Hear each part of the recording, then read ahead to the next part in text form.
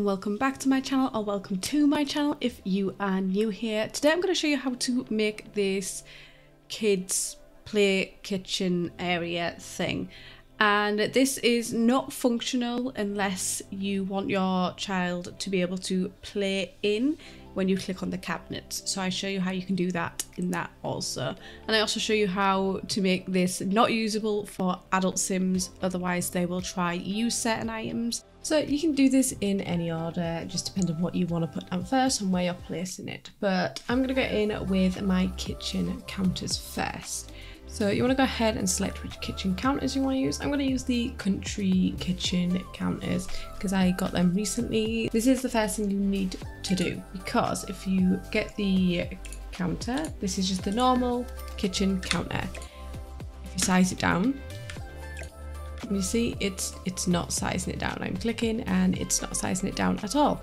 So what you need to do is use this instead, the kitchen island counters, which have the little lip on the front, and these can be sized down. You can do this either way because you can use this side if you want, and you can use the pieces on the corner as well. So for this one, I'm going to go ahead and use the corner piece and that. And what you're going to do is size these down twice.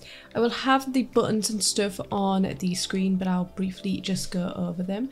So if you are on PC, it is the left square bracket key.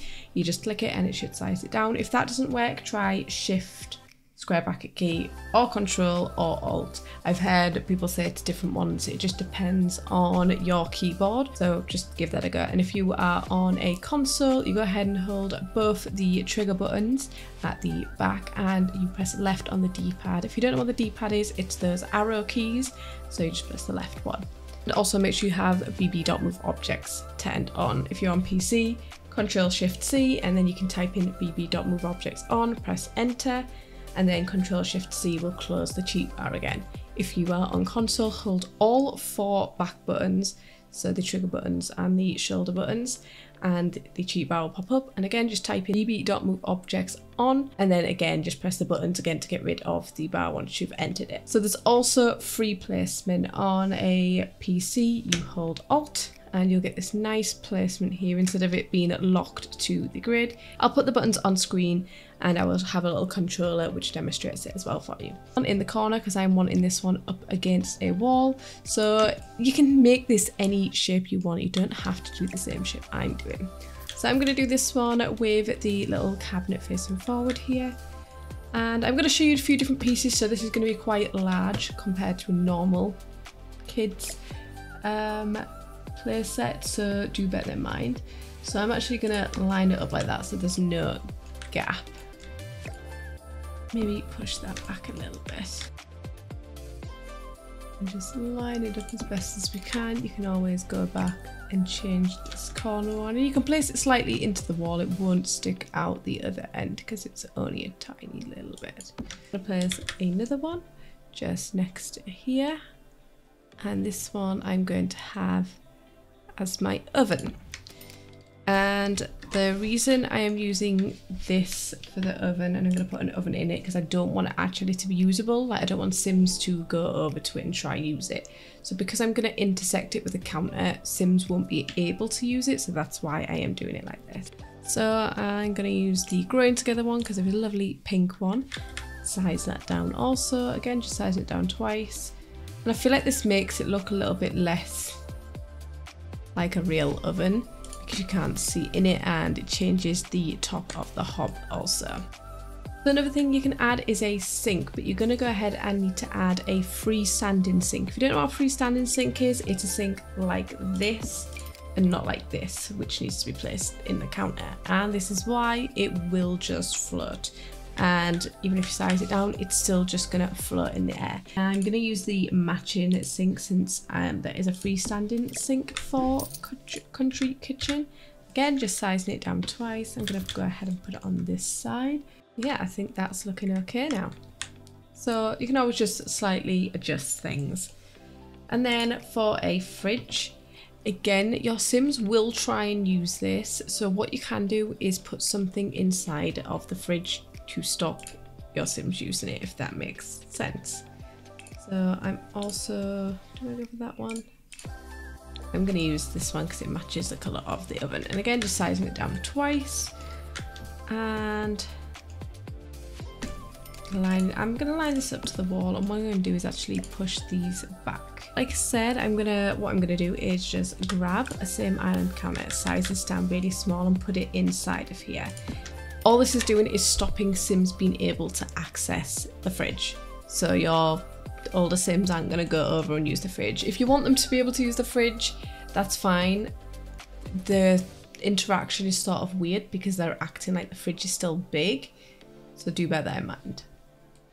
So once you've got your kitchen cabinet, I'm going to go ahead and grab a microwave again. I'm going to go pink and place it on top. And then I'm going to grab the counter and size it down to as small as it can go. And I'm going to size down the microwave. I'm just going to do this once. You can do it twice if you'd like. I'm going to move this counter for now. And I don't know if you see there, watch when I place, microwave goes smaller. When I click, it goes back bigger. So it's a little bit of a guessing thing with this. So place it down. You can see if that is in the right place. I've sort of almost got it in the right place. I want to move it across slightly. Like so, maybe.